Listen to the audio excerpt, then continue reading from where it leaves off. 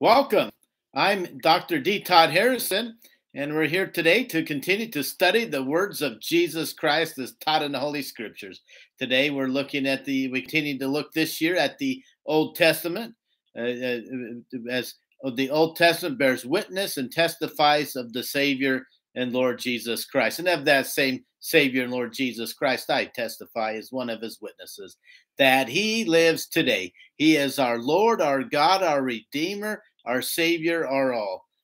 We're looking today at the great stories of David and Solomon, Israel's two greatest leaders, two greatest kings. Uh, they uh, started their lives with their hearts full of, of uh, devotion to God, but they fell and lost their exaltations. Their exaltations, as the Doctrine and Covenants say, have gone to another. It doesn't specify that in terms of Solomon, but we get the picture from what D&C 132.39 says of David. And so let's look today at the last week we looked at uh, David and uh, the great story of his uh, devotion to God as a youth, his uh, battle against Goliath and uh, killing the giant, and all these great things that uh, David started off his life uh, let's look here today at uh, 2 Samuel, and we'll look first at chapter 5, verse 10 through 13. So 2 Samuel chapter 5 and uh, verses 10 through 13 says, And David went on and grew great, and the Lord God of hosts was with him. Sounds like Jesus Christ, right? In the beginning of the Gospels, Jesus Christ grew great. Talks about how he continued to grow and increase, you know, and grew great, right? So David, you know, he's doing everything right. And the Lord of God, the Lord God of hosts was with him. And Hiram, king of Tyre, sent messengers to David and cedar trees and carpenters and masons, and they built David a house. He was honored by this foreign king, King uh, uh Hiram, and uh, and they built him a house. And David perceived that the Lord had established him king over Israel, and that he had exalted his kingdom for his people Israel's sake. And so, what did David do? David took him more concubines and wives out of Jerusalem after he was come from Hebron, and there were yet sons and daughters born to David. So, instead of giving thanks to God, what did he do? He started to uh, marry several uh, women, several wives here, uh, which is going to start to, as people indulge in different behaviors and they can develop addictions, right? And so here he develops this, he starts to develop this sexual addiction, which is going to lead to his downfall uh, with uh, with Bathsheba, right? So you know, instead of thanking God, instead of continuing to grow great in the Lord, as it said in verse ten, he starts to marry other women, starts to indulge in his appetites, his sexual passions, developing sexual addictions. Let's look now at uh, chapter 6, verse 4 through 7. Uh, now, David, while he's developing the sexual addiction, he's still trying to praise the Lord. He's out here trying to bring the Ark of the Covenant, uh, you know, um, and, uh, and, transport the uh, Ark of the Covenant here. And we got the great lesson of Uzzah, right? Of Uzzah here, chapter 6. And we'll look at verse 4 through 7. And they brought it out of the house of Abinadab, which was at Gibeah, accompanying the ark of God. And Ahio went before the ark. And David and all the house of Israel played before the Lord in all manner of instruments. So he's really playing his way, you know, playing his heart out to the Lord, made of fir wood and even of harps, and on psalteries, and on timbrels, and on cornets, and on cymbals. And when they came to Nachon's threshing floor, Uzzah saw that the oxen were shaking the ark, right? So he sees that the ark's about to fall. He's worried it's going to crash, it's going to break. What does Uzzah do? He reaches out to hold on to the ark, right? To steady it so it did not crash. says here, and the anger of the Lord in verse 7 was kindled against Uzzah, and God smote him there for his error. And there he died by the ark of God. Now, why did God do that? Was it not a good thing to steady the ark, to for Uzzah to reach out and to make sure that the ark did not fall to the ground? That's what we have, eh, you know, in today's society, eh, these kind of people like that, right? No, it was not his responsibility to steady the ark. His responsibility was only to help in the transport of the ark. Only the Levites from the tribe of Levi could touch the ark, right? So he's not allowed to touch the ark.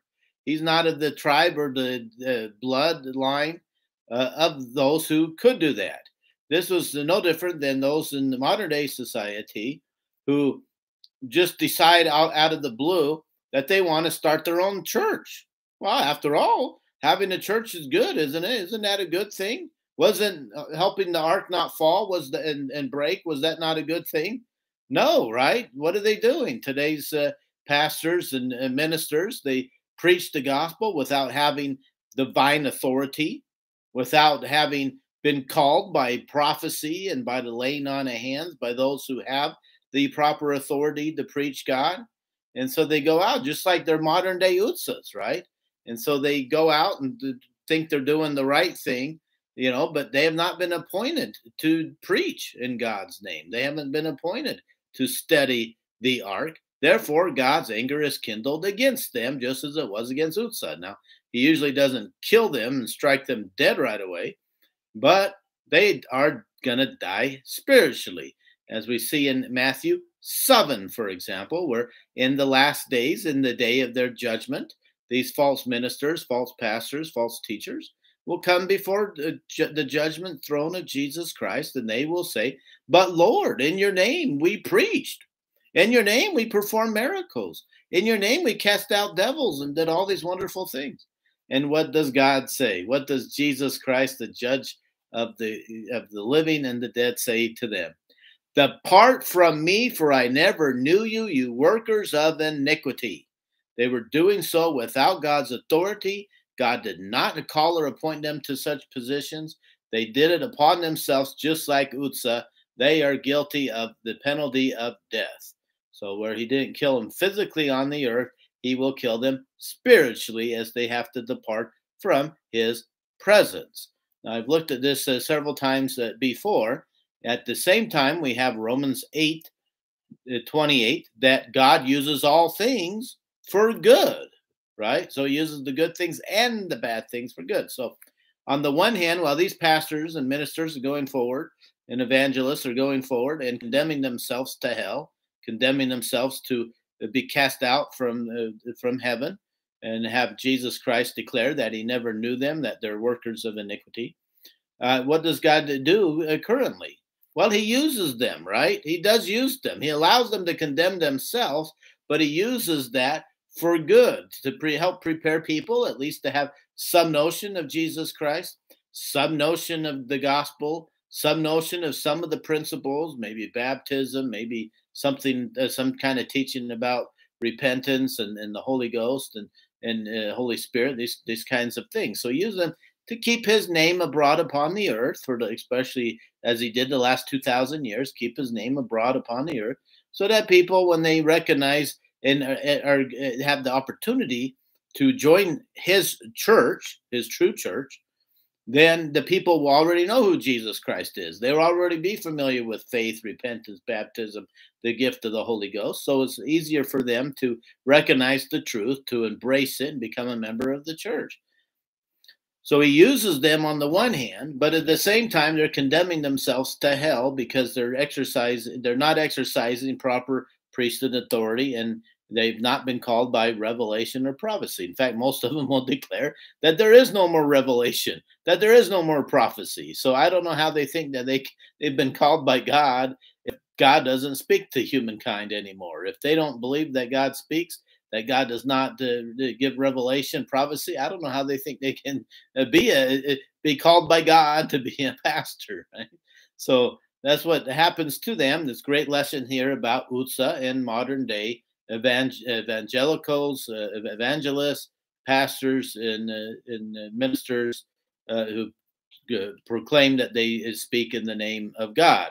First thing Jesus Christ did, not only did he talk like this, right, in Matthew 7, but he always condemned uh, when he was on the earth those false religious uh, leaders of whom he did not personally call and uh, authorized to go preach in his name. What was the first thing he said to, to, to after 2,000 years of, of uh, you know, of no revelation being upon the earth, right? No prophets, no apostles being called by God. What's the first thing he said when he appeared to Joseph Smith, right? Join none of those churches. Why? Because he did not establish those churches. He did not command any of their founders to found those churches. They did so without the, the proper authority and priesthood of God.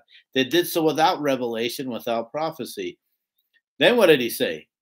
That those ministers, just the same Jesus Christ, right? The exact same Jesus Christ in the New Testament, same Jesus Christ of the Doctrine and Covenants and the latter day uh, gospel of Jesus Christ, right?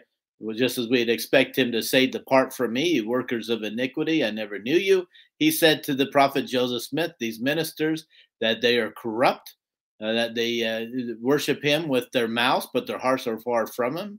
That their uh, uh that their uh, beliefs in the uh, in the creeds of Christendom are false abominations in his sight. Right? That's exactly what we'd expect Jesus Christ to say. Those of us who've studied the historical Jesus in the New Testament, we would know that that's exactly what Jesus would say, and that's what Jesus did say. So the great lesson here of uh.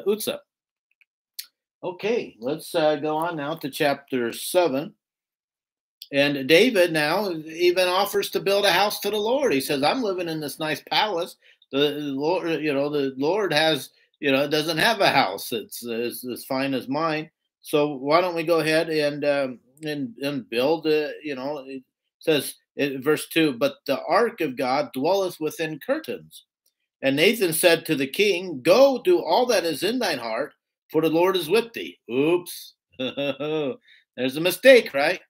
Remember, as apostles and prophets, apostles and prophets need to speak the word and will of God.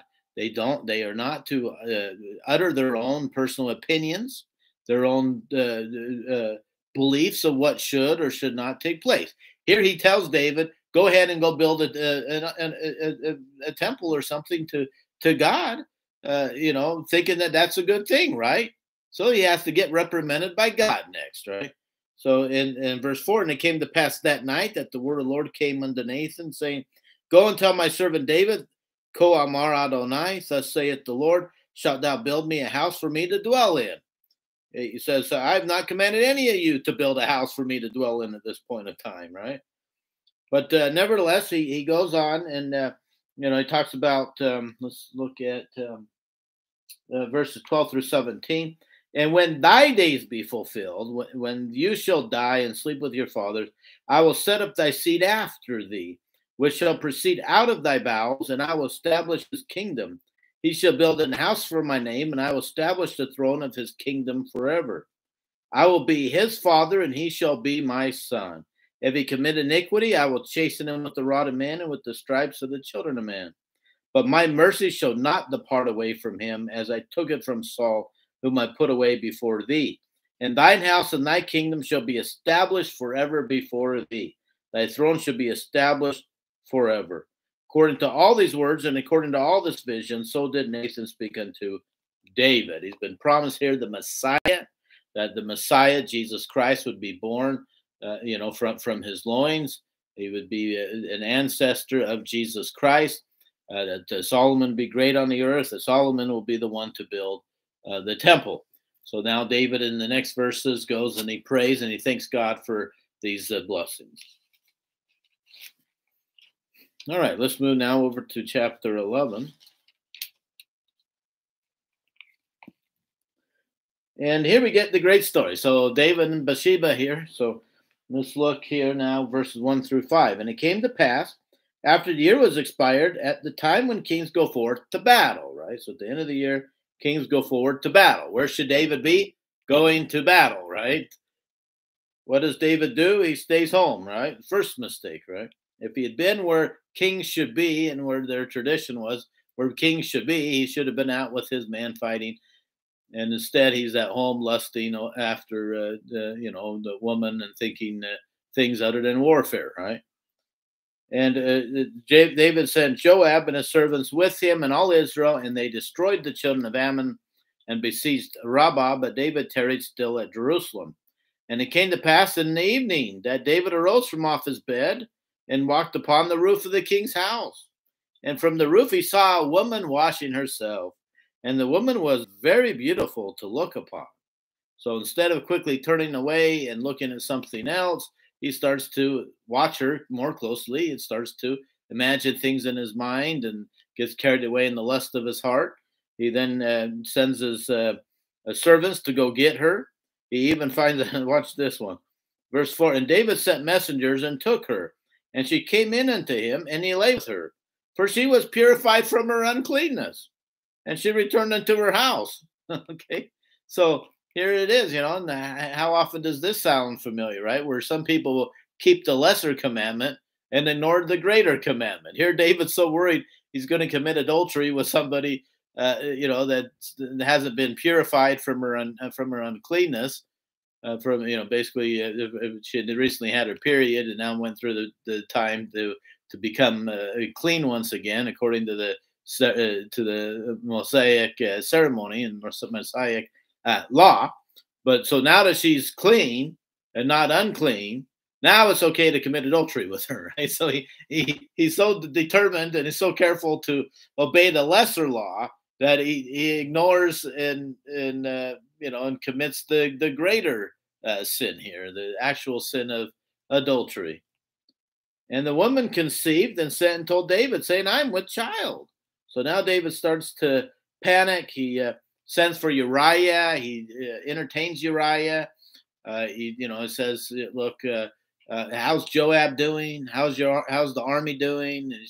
And then he tries to send him home, but he finds out that Joab's so faithful. He thinks, "How can I go home to my wife and and family when none of my men are, uh, are able to do so? They're all uh, fighting. So I'm just going to sleep at the at the door here of, of King David." So he stays the night there. He's so faithful guy. And remember, he's a Hittite. He's not the, an Israelite. He's not the, you know, he wasn't born in the church. He, he didn't grow up in the church, right? He's a convert, but he's so faithful uh, to Israel, right? And, and to the people of God.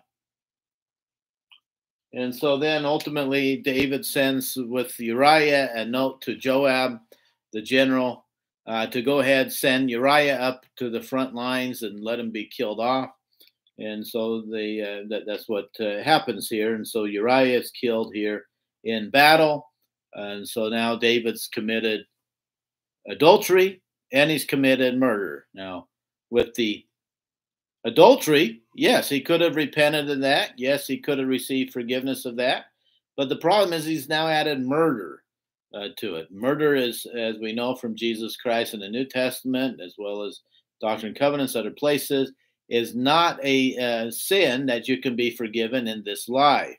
So you commit uh, murder, it's you know, basically all over for you. Uh, uh, you will not receive exaltation in the celestial kingdom. So even though this faithful David, whose heart was uh, tended to be with the Lord, he uh, composed many of the psalms in the book of Psalms praising the Lord. He was a very prayerful man. He had a lot of faith in God, but yet uh, he will not, as Doctrine and Covenants 132, 39 says, that his exaltation and his wife's went to another. So a very sad fall from, from grace, fall uh, from uh, his exaltation.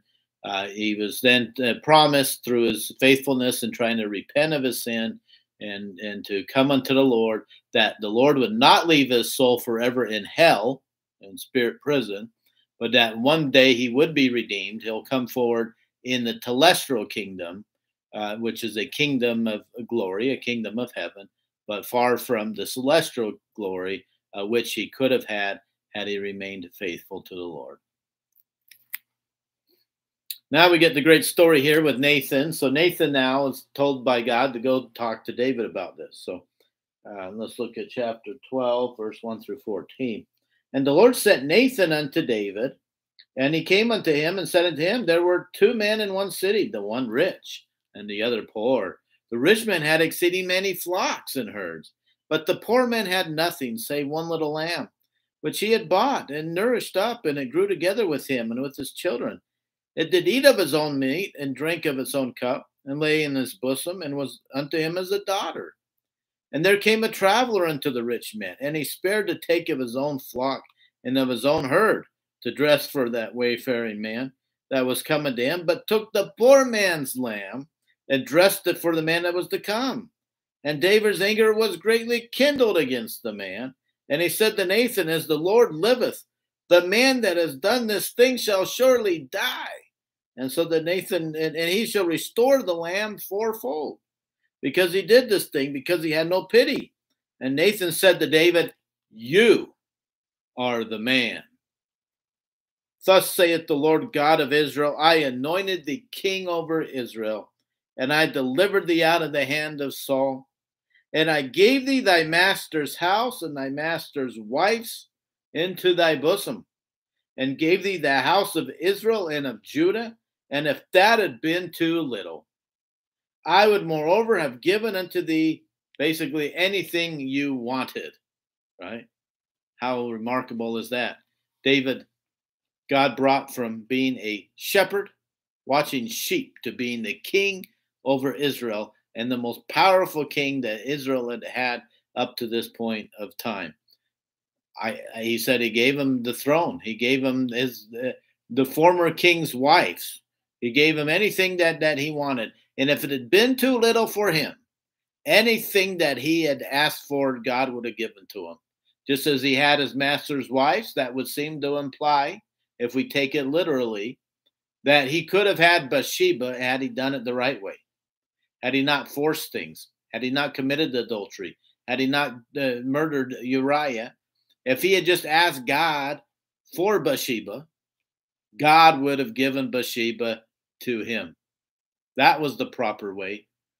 We know obviously that Solomon is was anointed to be the next king. Solomon's going to be born through Bathsheba, right? Therefore, that was God's plan all along that he end up with Bathsheba. The difference was is he forced things, took it upon himself, failed to ask God, and, has now lost his exaltation and eternal life uh, because of that uh, decision. And uh, but if he had just asked God, God would have given him Bathsheba. Really powerful lesson again here in this Old Testament. Okay, so now let's see. Um, let's now move on then to this chapter, uh, uh, chapter 12. And uh, okay, now we'll move on to Kings. So we're going to move to First Kings chapter 3. And we're going to get Solomon here, and we'll see his downfall as well. Very sad uh, lesson here today. And uh, so, First Kings chapter 3, verses 3 through 15. And Saul, uh, um, and Solomon loved the Lord. So again, just like David starting off on the right track, he loves the Lord. He's keeping God's commandments. Walking in the statutes of David his father, only he sanctified and burnt incense in high places. So not exactly right. He's starting to sacrifice in places where he shouldn't be, but he's still worshiping the Lord at this at this stage. And the king went to Gibeon to sacrifice there, for there for that was the great high place. A thousand burnt offerings did Solomon offer upon that altar. Wow, he's you know he's really paying a lot of tithing here, paying a lot of fast offerings, right?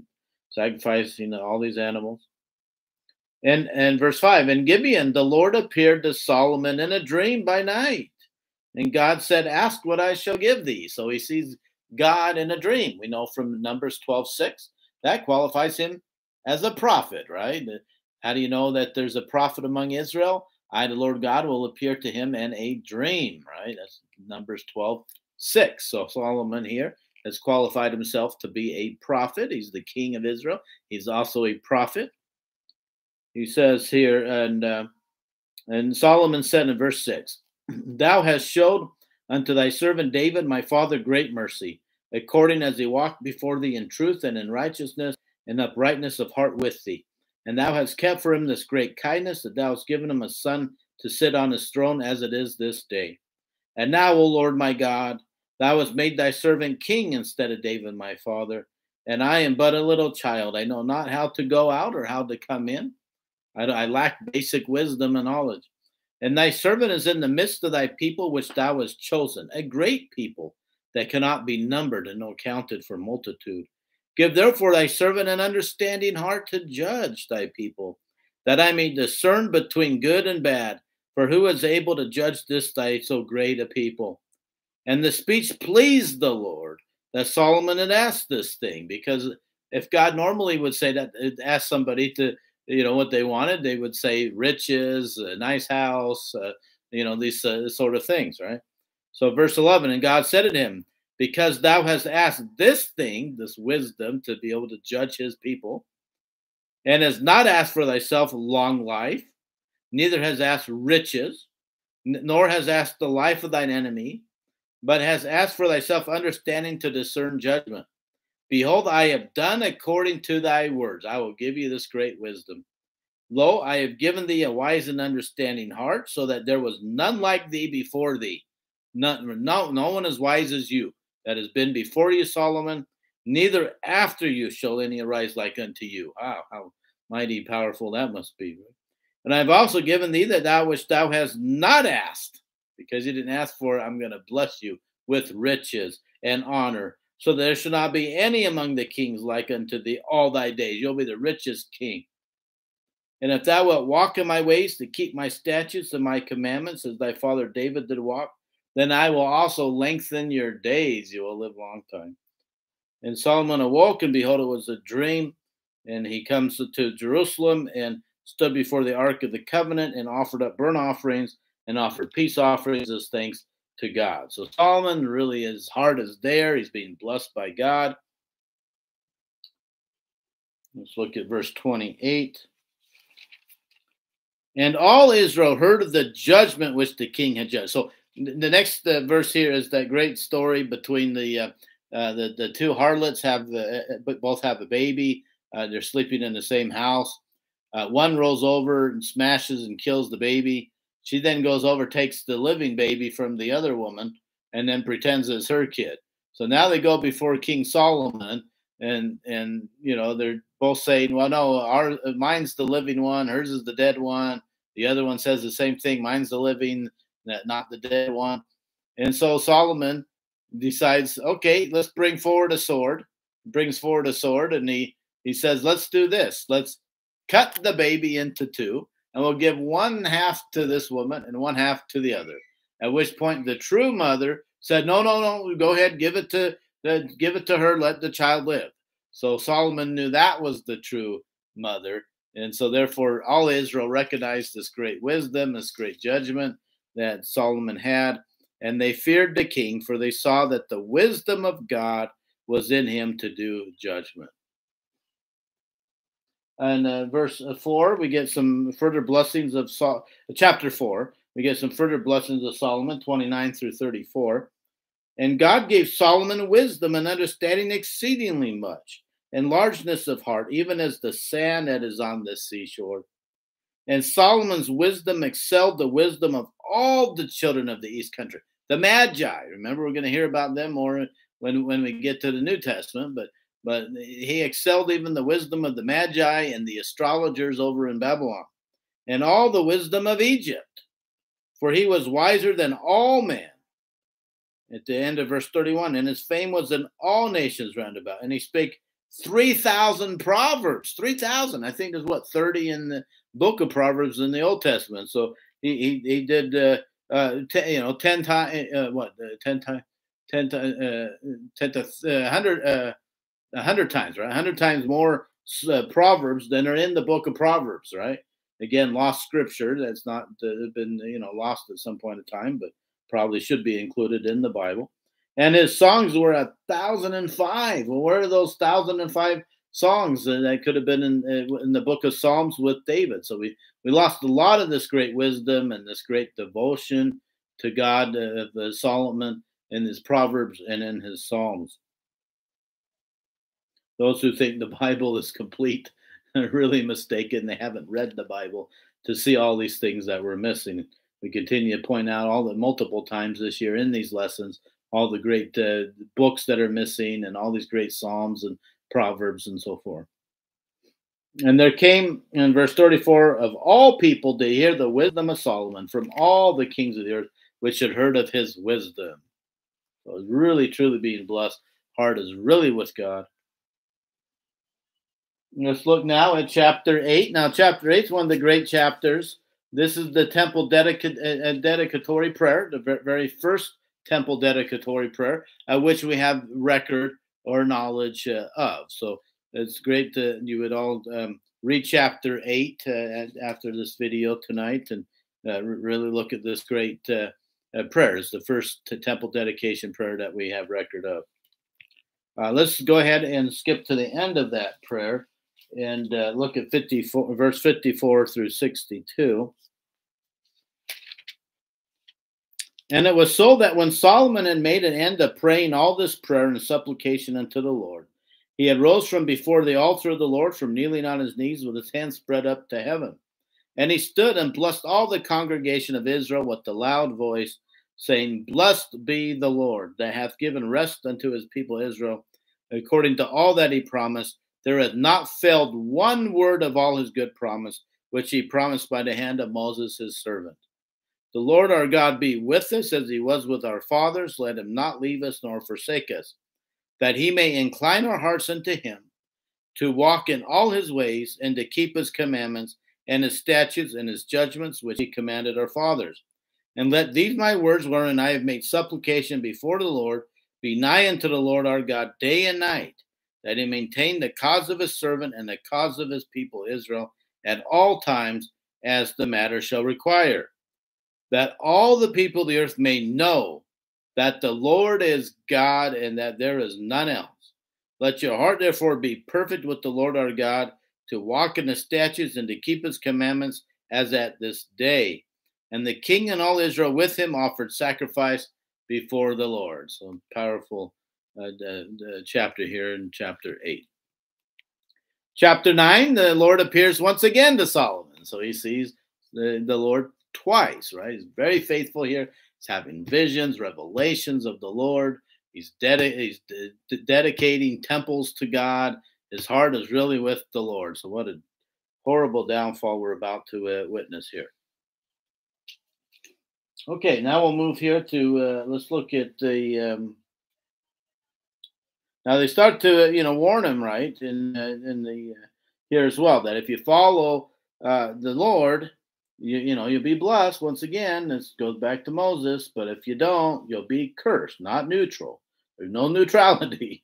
You know, a lot of people think there's neutral. Well, I just won't follow the Lord and I'll just be neutral here. There's no neutrality. You're either blessed or you're cursed.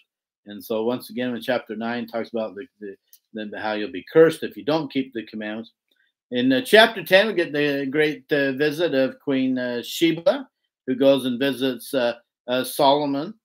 And uh, now, this is very important in the Ethiopian culture, in the country Ethiopia. they believe that, that, that, that, this is one of their favorite chapters of scripture. In 23 through 25, let's see.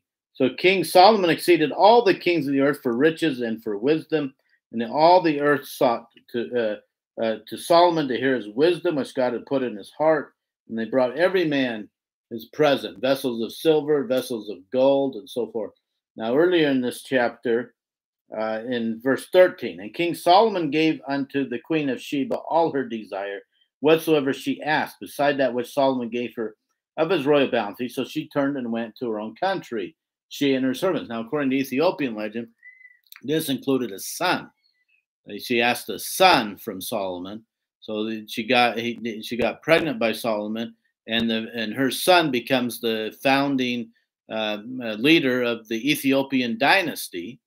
Uh, at some point along the, the, the line here, they also believe that uh, the other gift that uh, Solomon gave uh, to his son and and, and the, this Queen Sheba was the Ark of the Covenant. So they today they think they have the uh, Ark of the Covenant and they have somebody who dedicates their life to uh, watching over it and this uh, tent and so forth. So it's one of the possibilities. We don't know. There's, there's uh, one of the possible possible legends. other legends, maybe there are three different arks. Uh, it looks like uh, maybe even the Hopi Indians ended up with one. these possibility, one of these possible arks uh, Ark of the Covenants. Uh, Hugh Nibley talks about that, uh, some detail.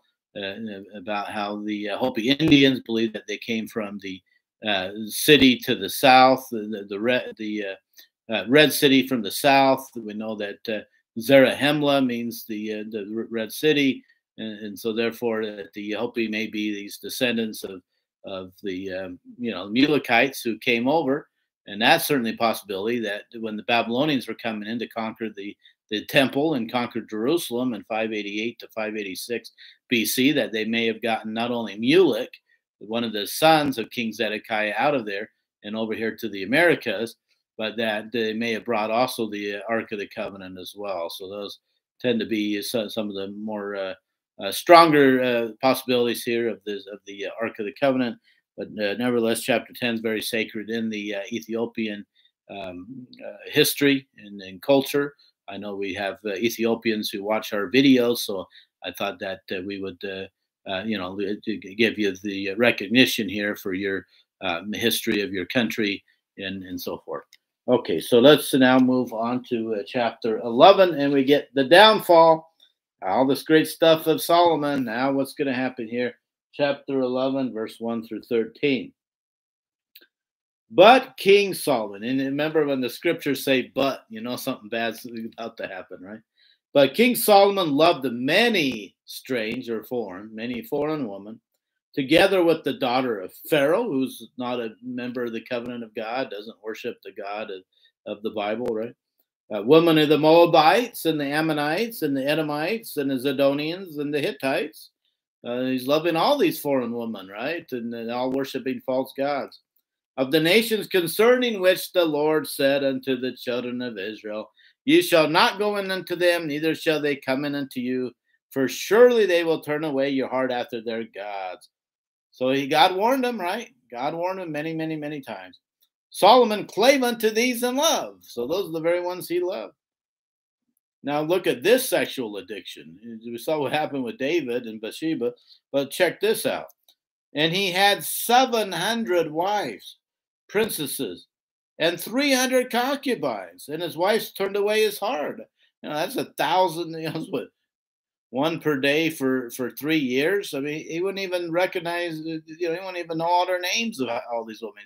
Really developed a uh, sexual addiction here, just like his father, uh, only much worse. You know, this is much worse than his father had it. And he's just marrying left and right. His, his sexual appetite, sexual addiction is way out of line here.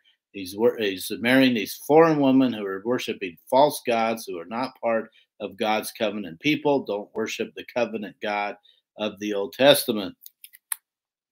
For it came to pass when Solomon was old, what happens? What God promised, right? That his wives turned away his heart after other gods, and his heart was not perfect with the Lord his God, as was the heart of David his father. Now, the JST is going to change some of this stuff, but the, the point is that David, uh, what the, the biblical writers here, doctrinally may not be exactly correct here when they keep talking about David's heart being right, but we see that you know he was a devoted guy to uh, devoted to God. He wrote the Psalms. He you know was a very prayerful man, and in those and in those contexts is what they mean when they keep talking about whether these kings, uh, as we're going to start reading about, were uh, whether their heart was after David or, or not. We're not talking doctrinal. So Joe Smith changes it doctrinally, you know, that that you know David, his father, went not fully after the Lord and, and so forth, uh, implying that maybe David's heart really wasn't fully right with God doctrinally. Historically, the writers of these uh, of these historical books are still viewing him as kind of a good example based on his devotion to God.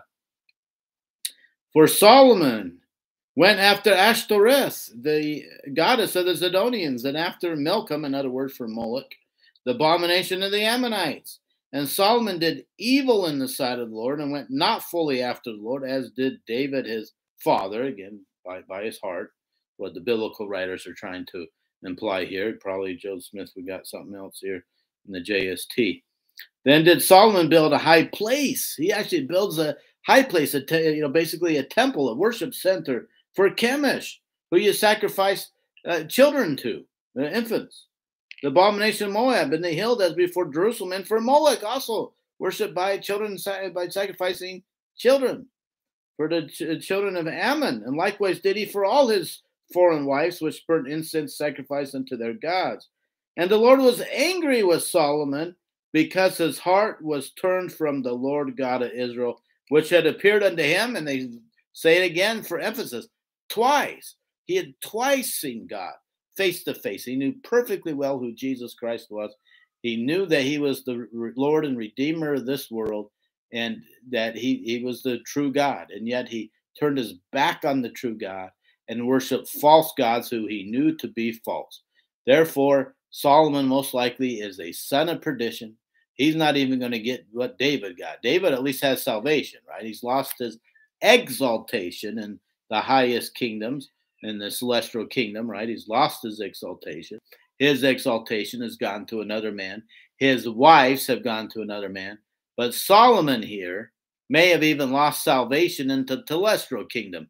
It's clear he's some sort of son of perdition here. He turned against God, having seen him two times, dedicated God's temple upon the earth, turned away from God to worship false gods, and so he ended his life in that status, probably a high probability of being a son of perdition. He will be one that would be cast out into outer darkness, where there will be weeping and wailing and gnashing of teeth forever and ever and ever, and having no light, no no uh, light of God at all, uh, not even to be uh, uh, able to receive the ministering of angels or of the Holy Ghost because of this rebellion that he did against the Lord. So again, very tragic stories here we're reading here in the scriptures with David and with Solomon. And so, what great uh, reminders they are that even if we are faithful in our life at this point in time, faithful in keeping God's commandments, faithful in our prayer life, faithful in our scripture reading, that we must maintain that attitude and that right worship with God for the rest of our lives till the moment we die. We don't want to be a David or a Solomon. We want to be a faithful person who continues to remain faithful to God throughout all our, our uh, throughout all the rest of our lives. For those of you who are not yet members of the Church of God upon the earth, we invite you in God's name and in his love for you to embrace him, to come unto his church so you can be saved. Ephesians 5:25 says that Christ gave himself for those of his church, not for those that are not members of his church. For those who are members of his church, he gave himself. So it's vitally important to become a member of his church so you can take full advantage of his atonement, uh, uh, you know, on, on your behalf. I will leave in the description of the video of this video a link to click on it. Reach out to the missionaries. Let them know you're willing to accept Jesus Christ as your Lord and Savior. Exercise faith in Him. Repent of your sins. Become a member of His church and kingdom upon the earth so that you can become a Christian, being anointed by the Holy Ghost, which you will receive after baptism, the gift of the Holy Ghost. You will then be set right on the path, heading back towards our Heavenly Father's presence. Of Him we testify of His existence, that He is alive today. He loves you with a great love that was uh, that was so full of love that He was willing to die and suffer all manner of afflictions all manner of beatings, all manner of insults, to die for you in your place, so that God took his wrath against the ungodly and instead of casting that upon you, cast it upon his son. His son stood in your place, received the wrath of God, so that you can repent of your sins and receive joy, happiness, and peace forever and ever and ever. Of him I testify as one of his witnesses. And of his gospel we testify as we preached it once again this day. His gospel is true. He has restored his church and kingdom upon the earth.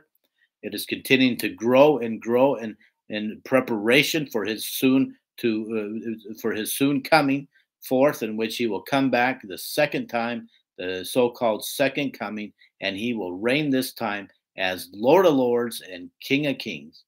Hallelujah to his holy name, and Hosanna to the Lamb of God who taketh away the sins of the world.